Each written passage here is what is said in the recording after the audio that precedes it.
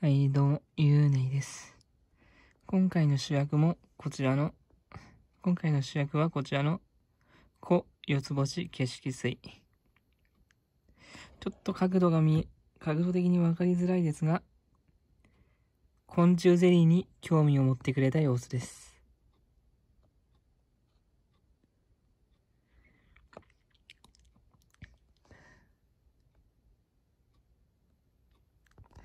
まあ、四つ星景色水は、よいしょ。ちょっ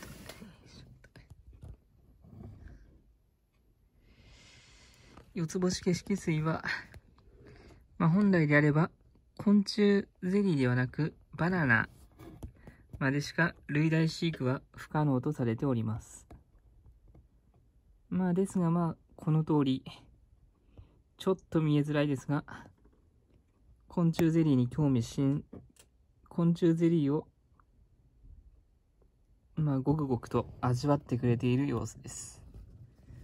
見えにくい。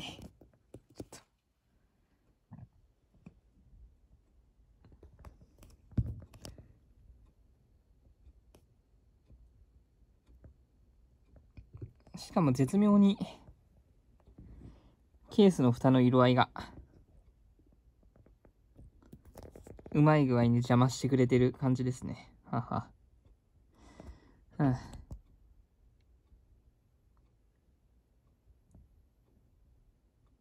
まあ基本、まあもちろんね、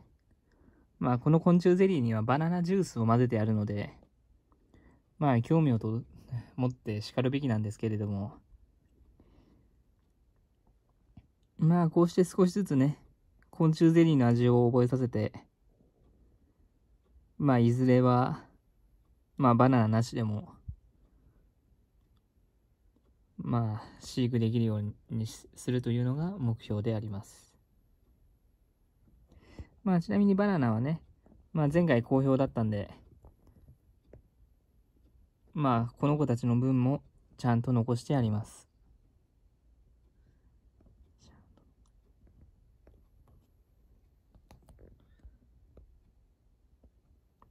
まあ、あと、ちょっと悲しいお知らせが一つありまして、まあ、前回、前々回とね、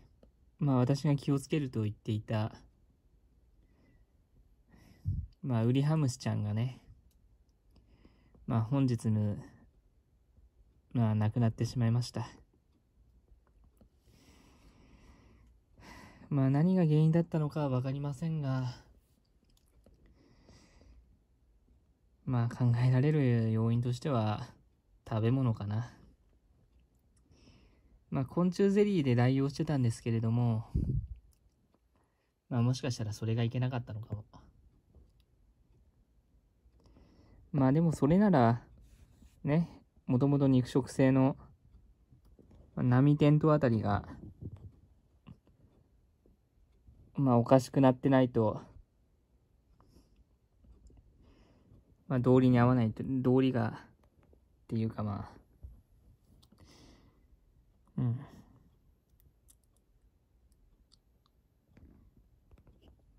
まあ、もう一つの可能性としては寿命ですかね。あとは気温とか湿度とかが合わなかったか。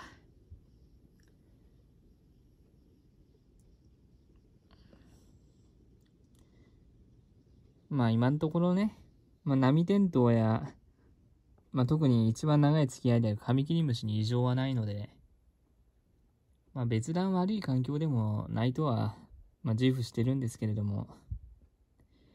ウリハムシにとっては、まあ、そうもいかなかった可能性があります。またこの経験も生かしてね、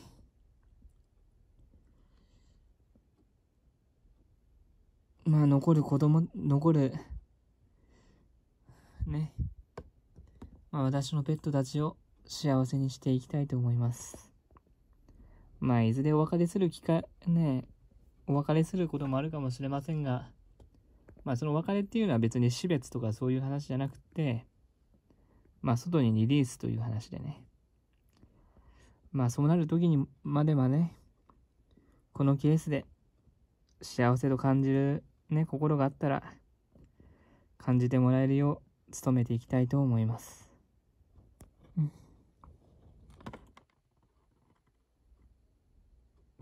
それではまた。